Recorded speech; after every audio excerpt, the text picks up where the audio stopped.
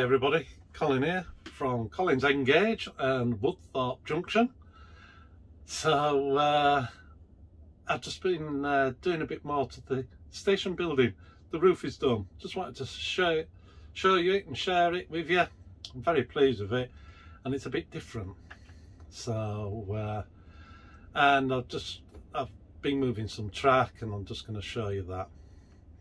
So it's not a very long video and I hope uh, you enjoy it and let me know what you think of the roof.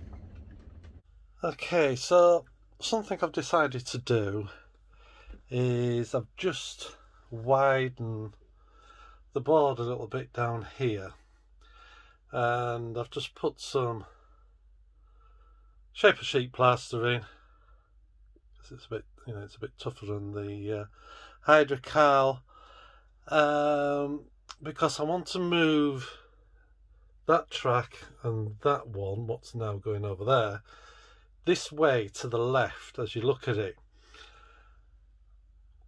Do away with that point, alter just from about there on this track, let me point it out, that one, the point there, just move it back a bit and just uh, relay those two lines from about here.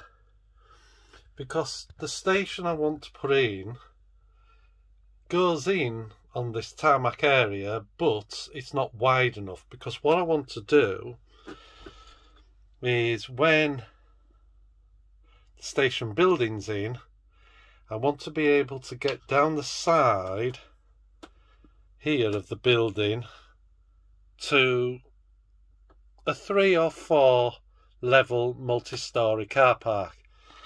So there's somewhere for people to park. Uh, maybe only three. But I was I'm impressed with the size I've started to make this uh, station but it's just a bit too tight going the way it is and I want to move it as far this way as I can because the walkway from the station building across to this platform and to this platform what's going to extend down there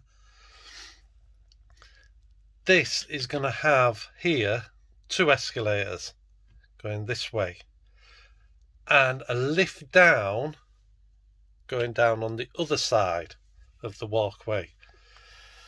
Um, the platform on this side is going to have two pairs of escalators, one coming this way and one starting and going that way because this platform is going to start from over here and go round to where the Evening Star is, the Class 66.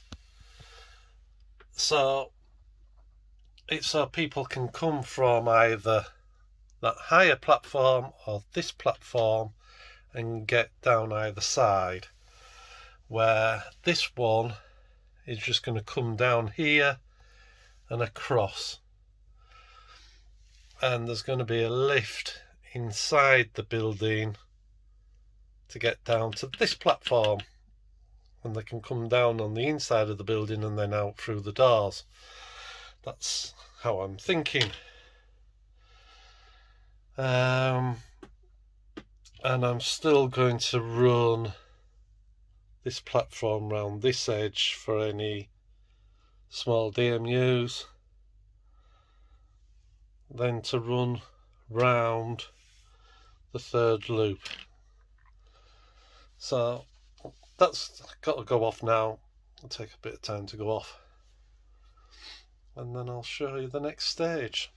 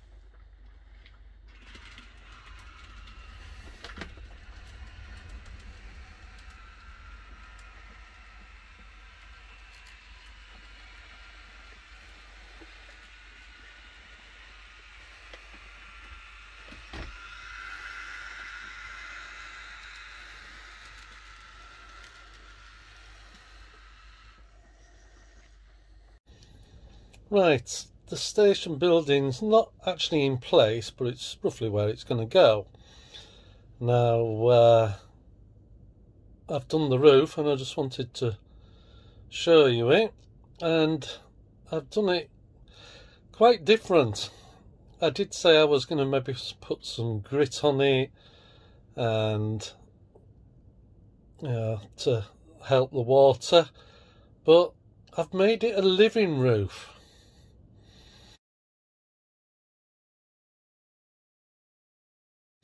Environmentally friendly. And that's it. Uh, there's a, a gutter to catch the water to take it down to this end. I've just put that a bit lower at that end because it flows from being a bit higher and I've just used different lengths of static grass and colours. That bit up there just looks like a bit of burnt grass and it hasn't just replenished yet. Uh, got the front on now with the entrance. haven't done the door yet. And that is that side with the walkway. The walkway is going to come from, I can see where I'm pointing, from there across to this platform here and up to this platform up there. And then this side of the building is just plain brick. Maybe putting a door in don't know yet. Um, and I'll put recycling with it being these modern stations now and I've done it in hopefully a way that I can just lift it off, excuse the hand, just lifts off, just put it on the side. I've now put that girder in, um, haven't done the floor yet. There's a, you can see the front. We're going to put lights in tomorrow. We're going to start by putting maybe three lights across here facing inwards and one into the office down there. Um,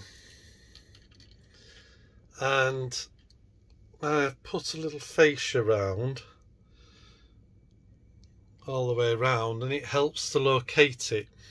Wasn't going to do one across the front, across the front here, but I am now. So that's again tomorrow and then paint it in. So if I just take that out, if I can,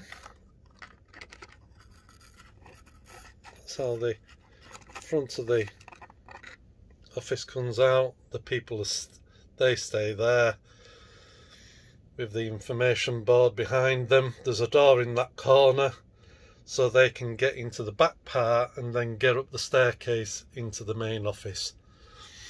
And just on the back of this I have put a shelf which you can't really see because there might be able to see it now if I can get it to stay in focus there and just done it brown so it's like a polished shelf for them to do the work and then pass the ticket through. And then that goes just back in. So that then just locates back on. Now on this side there's three layers of paper there's two layers of very thin paper and then wrapped round and round and it goes up the roof slightly. Up, up there, very only maybe half an inch. And then there's a thicker grade card, well, paper, and then that's wrapped round. And on this side there's only one layer of paper on. And if I just uh, try and locate that back on there. It's uh, better to look what you're doing than trying to feel it especially when you've only just done it and you don't know what it looks like. I'll have a little look to make sure I'm in the right place. It looks like it's in the right place. Yeah yeah. So and that's it. Back on. So do the lights tomorrow.